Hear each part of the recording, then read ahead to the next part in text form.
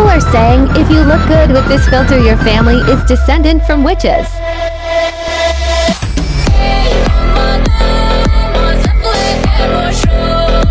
I just think I look good, period.